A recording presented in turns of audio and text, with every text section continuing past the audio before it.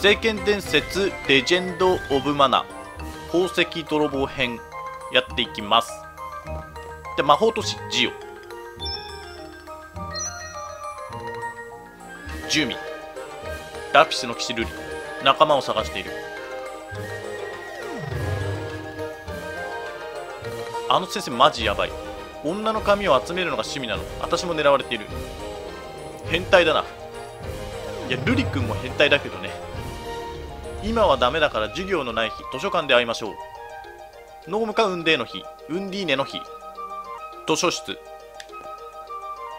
ルリさん。くず石君静かに旋回。ここは戦場じゃないんじゃん。大声を出さずとも聞こえる。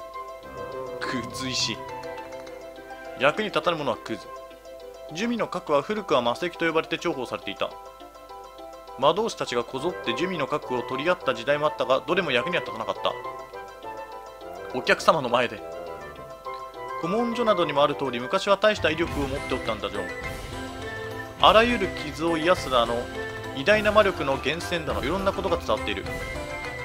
こいつはわしの可愛い弟子で点で使い物にはならん。ただのくず石くんじゃこの消えた。なんであんなこと言われて黙ってる？それでも準備か。本当のことああ言っておけば私の核を欲しがる人も減る。聞きたいことがある。ルリさんは旅をしている。私に似た人見なかった。いや嫁は？似た人って何？どういうこと？わからん。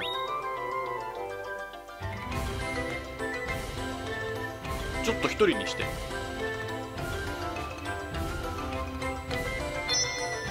共鳴した。幸せの四つ葉。俺でよければ力になるぜ。再び教室。元気ないな。お願いがある。この人に。嫁に？瑠璃さんも一緒に。図書室に来て。ノームカウンディーネの日。来てくれたのね。お願いってなんだ？俺たちにできることなら力になるぜ。でもまず私の話を聞いて。ジュミの町から逃げてきてこの学園に保護された。なぜジュミの町は滅びたんだ？癒しの力を持つなんこれ蛍姫様がさらわれたの？癒しの力蛍姫。みんなジュミの町を捨てた。癒しの力がないのに一族で固まってたら危険だから。その混乱の中で姉様とはぐれてしまった。なんたらっていう魔法陣野郎が邪魔してるんだな。ヌヌザック先生私を保護してくれた。魔法の勉強を見る代わりに騎士が現れるまでは学園外に出ないことを約束している。俺が騎士になればいいんだな。ルリさんは姫がいる。ヌザック先生がそれじゃ二股だって騎士と姫ってのは別に恋人ではない。言い訳だそんなの。ルリ。一つの命が守れるのは自分の命とあともう一つがせいぜい。生きがるな珠魅の少年。でどうする？嫁にお願いすればどうかって。お前さんよりは見どころがある。その頭に刺さった妙ちきな棒が超マブ。でどうするんだ？騎士役を引き受けよう。ありがとう嫁さん。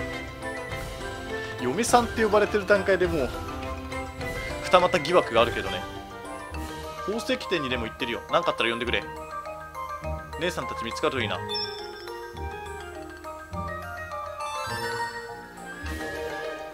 え？どんな人？核に惹かれて近くまで来てる。すぐに会えるはず。こういう宝石を見たことありませんか？お前は見たことあるかいサザビー。下の倉庫で見かけた。必要なら宝石を差し上げます。めちゃくちゃ太っ腹だな。なして。珠魅の核は不幸を招くだけ。なるほど手放したいっていうことか。あいる。どうしてディアナ様が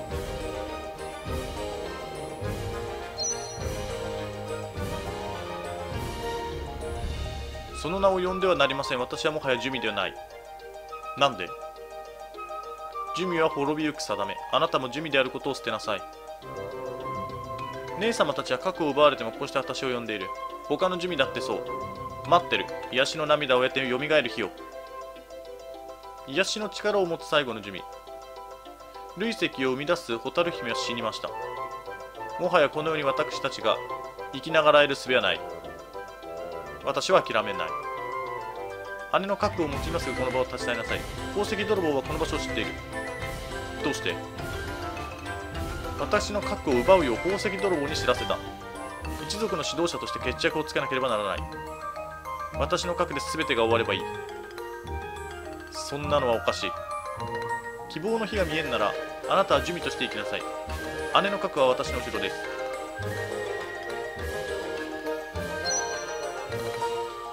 姉様の核。珠魅は涙を取り戻す。珠魅に心があるって信じている。石になるなんて間違っている。え？何こいつ？こう石として美術品として生きているってこと？ここにあるような気がする。下にめっちゃ光ってんだけど。答えてお姉様。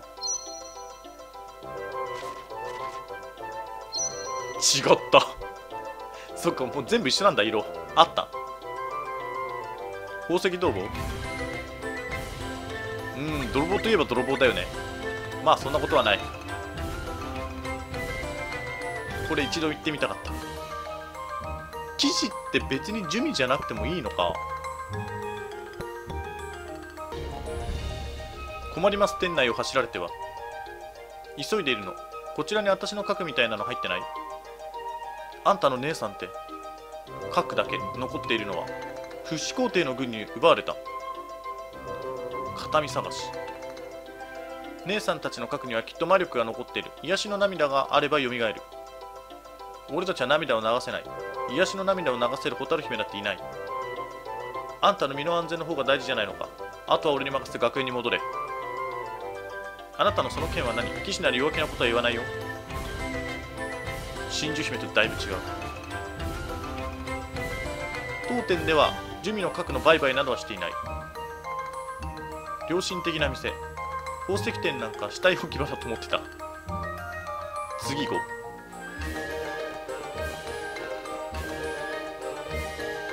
珠魅のお嬢さんがこの年にいたとは。こんなの持ってない。なんやあんた。持ってない。持ってない持ってない。そんな感じがしたんだけど気のせいかな。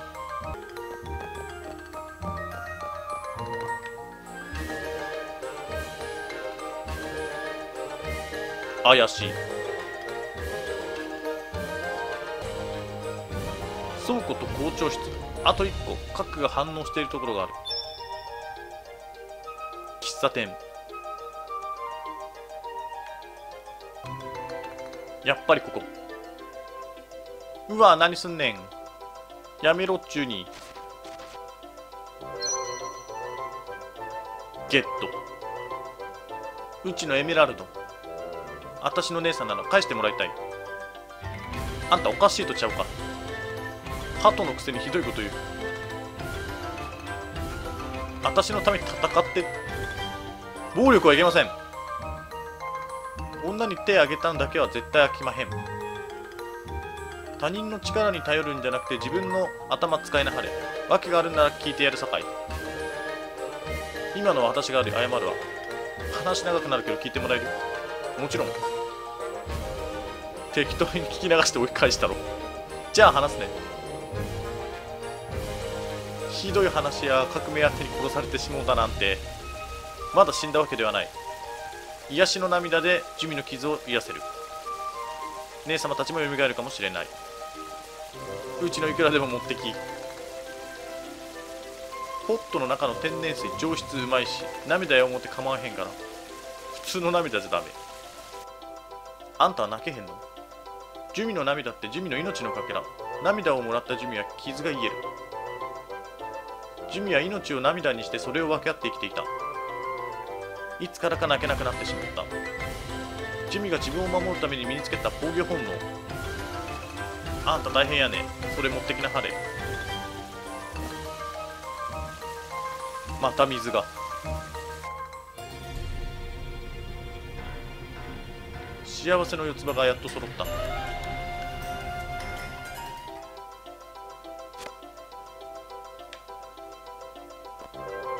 これ予告状。幸せの四つ葉をいただく。どうしよう。そばを離れるな。学園に帰る。富士山に気をつけるように言って。えっていうかお前一人で行ったら一番ヤバいだろ。行くぞルリ緊急事態だ。予告状が来た。すぐにエメロードのところへ行こう。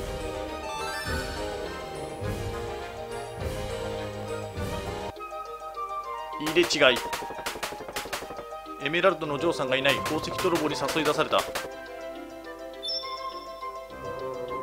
読め彼女を探すんだ。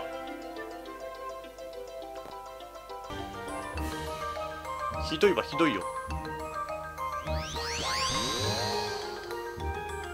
え？どうなった？ダイヤモンドのジュミかつてジュミの都市にいてディアナと呼ばれていた。若きジュミの騎士たちをあの子を救えますか？当たり前だ。ではお任せします。どこへ転送されたんだ？闘技場なぜ？ジュエルビーストじゃん。ルリ強え俺 なくて全然強いんだけど。頼む。俺は後ろから援護だ。前線は任せるぞ。その剣。存分に振るうがいい。いいね。後方支援。一番相性がいい。エリアルグレード。こいつ必殺技使わないからね。おおだいぶ強いそんなに積極的にはでも攻撃しないか。経験値は渡さん。どけルーリー。うわあパクられたパクられた151個パクられたわまあしょうがない。それだけの働きはした。確かに。向こうか。涙が出ない。姉様たちのためにも自分のためにも涙なんて。遅かったよね。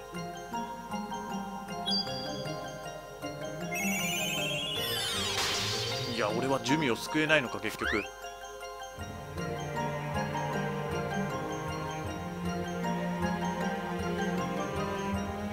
すまない。覚悟はしていた。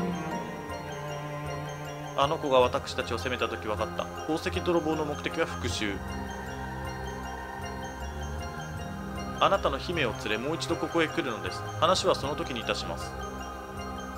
約束の印にこれを持ちなさい。アストリア記あなたの姫のもとへ送って差し上げます。こいつすげえな。転送魔法使えんのか。エメロードのこと話さなくちゃいけない。ディアナのことも。お姉様のお家ってあったかい。もう少しこいつの寝顔を。やはり変態だ。いやでも起こすのはかわいそう。確かに。幸せの四つ葉。終わり。真珠姫来てないか？いやわからん。来てないよ。じゃあこの予告状は？畜生真珠姫が宝石泥棒にさらわれた。一緒に探そう。無視とかひどいよな。助かってでも手がかりがない。とりあえず外に出よう。コースモ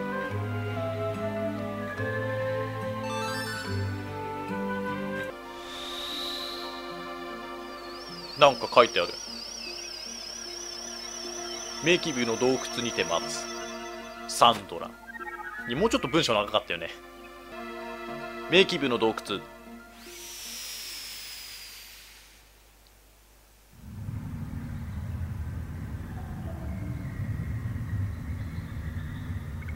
けなんかいっぱいいるんだけど何これ？なんだあんたら？仲間を探してる女の子を見なかったか正直に言わないと。乱暴すんなほわほわした可愛い子ちゃん。あの子女と一緒だった。オレンジの花飾り。そうその女。スラッとしなやか。緑のチャイナ服から覗く足が。最高だった。右上の道をだいぶ前に歩いていった。真珠姫。急ごう。こいつに触れよう。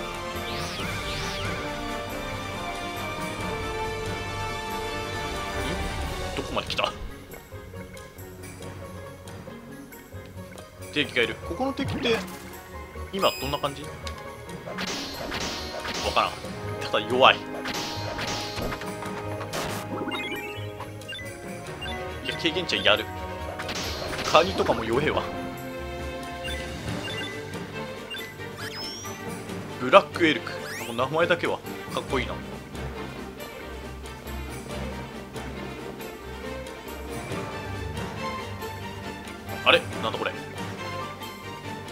石を見ていた。こんな小さな宝石が美しい輝きを放っている。夜空に浮かぶ星々だ。私に何か真珠姫のことを聞く。あの子の仲間か。急いだ方がいい。分かってる。この真ん中の道をまっすぐ行った。本当に？なんでもない。いやマジで。ちょっと。怪しいっちゃ怪しいよねこいつ。自体が。なんだか嫌な予感がする。いた。真珠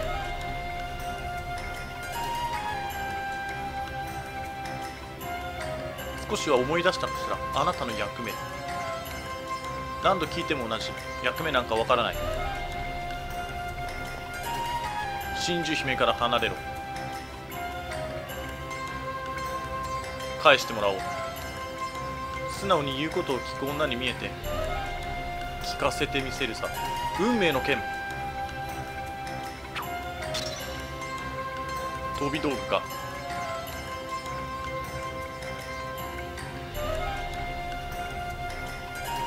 真珠姫。あなたの愛しい瑠璃君の核が傷ついてしまった。あなたの癒しの涙で騎士を救わないでいいの。奴の言うことなんとか聞くな。なんか来たんだけど。やめなさいサンドラおお傷つけ合うことに意味はない。私は許せない。この娘が。珠魅の全てが。なぜ涙を流せない。答えなさい真珠姫。悲しくても涙が出ない。私たちは泣けない。あなたの癒しの力を持たぬ名ばかりの姫そう。ジュミはもうとっくの昔に涙をなくした。ジュミがなくしたのは涙ではない。胸の核に聞いてみなさい。わからないのね。古の記憶を受け継ぐあなたにさえ。輝きをなくした汚れた石。瑠璃の騎士と真珠の姫。二人まとめて核をいただく。癒しの力とは言わない。せめて私に戦う力を騎士の力を。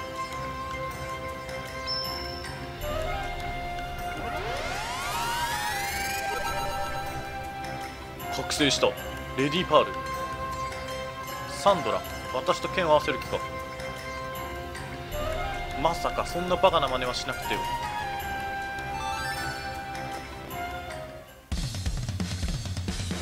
俺レディーパールとやらが仲間になってる。変わらないな敵は。こいつはもうマジで技使ってこないから超楽。レディーパールハンマーみたいなの持ってんじゃん。意外にごついな。攻撃しろよ。おいったいったいったいった。俺は後方支援。それが俺の役目だ。頼むぞレディーパール。当たってない。ちょっと来た来た来た来た来た来た来た。もうほとんど俺がダメージ与えてるよな。終わりだ。経験値は渡さん。大した活躍もしてないだろう。レディーパートやら。750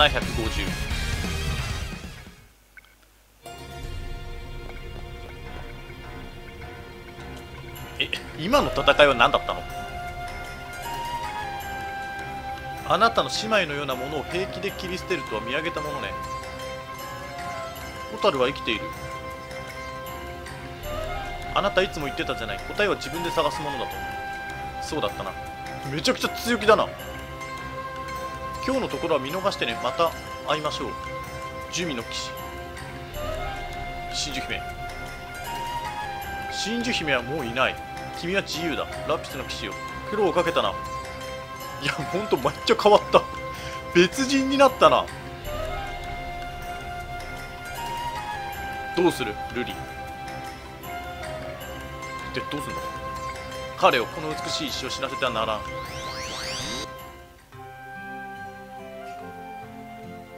みんなさ転送魔法使えるなジュミの人たちは。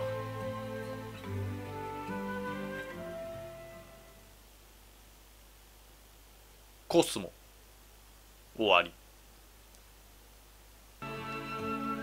真珠姫。真珠姫を探さないと。う無理させない話を聞く。話聞こう。無理をさせる。俺は真珠姫を守りたい。サンドラやあの人が何をしようとしているのか知らない。あの人って誰？真珠姫を傷つけることだけはさせない。なんかさっきの王って呼ばれてた人かな？真珠姫は安心させる本当のことを言う。いやこれは真実を伝えよう。まだ見つからないのか？やっぱり俺が探しに行く。グ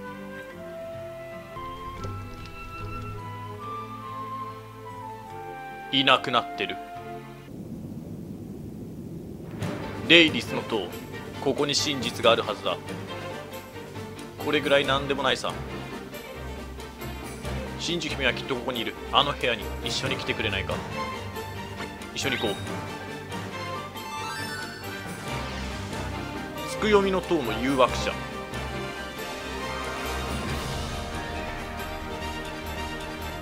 運命の扉。11回。待て。この運命の扉は中にいるやつを知る者にしか道を開けないんだそうだ。中にいるのは真珠姫。俺が開けるよ。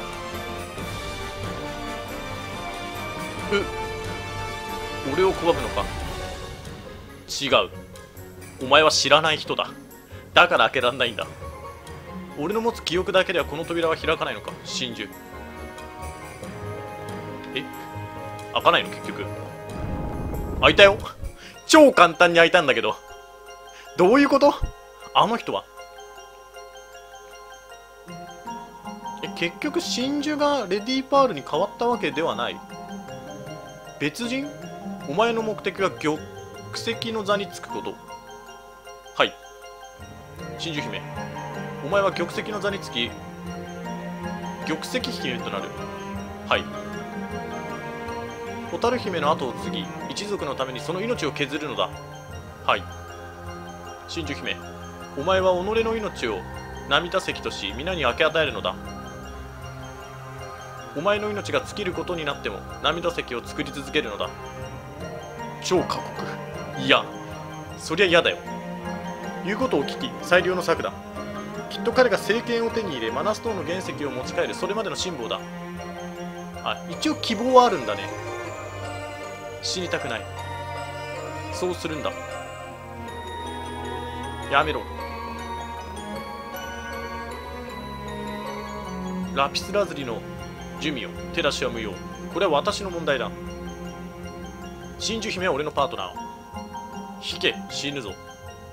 俺が守ると誓った引くことはできない。ルリ君を助けて。いや助けよう。断るとか。まあよかろう。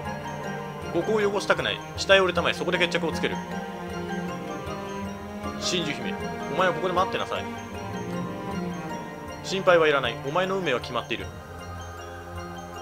大丈夫だ。必ず迎えに来る。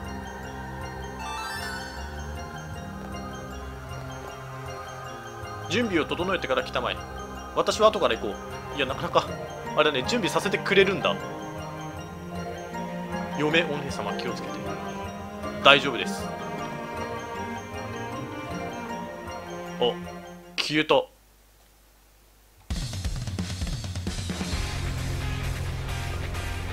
ハンマー持ちだな。人間タイプだからちょっとうわジャンプしてくる。しかし俺は新たな力を得た。3本打ち。あ待って待ってあいつ無敵状態じゃねえかよ。ちょっと待って。あんまり届かないな。上から下に打つのか3本そのまま打つのかと思ったらそういうわけではない。俺は後方支援。挟み撃ちにする。背中から矢を打たれる気分。味わうがいい。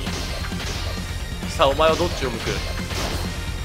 くも地獄進むも地獄だぞ。技を使ってきたか。じゃあ俺はこのタイミングで3本打ちを決める。ままあ火力がやっぱねそこまで強いってわけではない。なんかすげえ必殺技覚えたいな。なんか覚えたんだけど。サテライトフォール。待って経験値経験値。くんない。腕を上げたなラピスの騎士を。いや2対1で挟み込んだけどね。結構ずるいよね。真珠姫から手を引いてもらう。しばらくはな。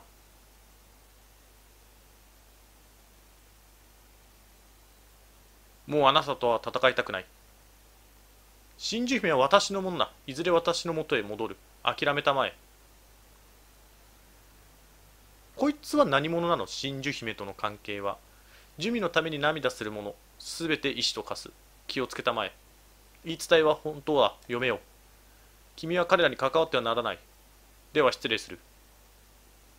そして消えていく。みんなすげえな。珠魅の能力。真珠。行こう。どこへ。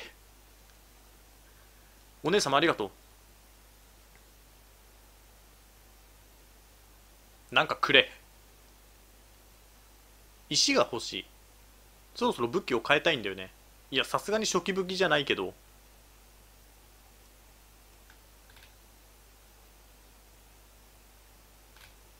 つくよみの塔の誘惑者。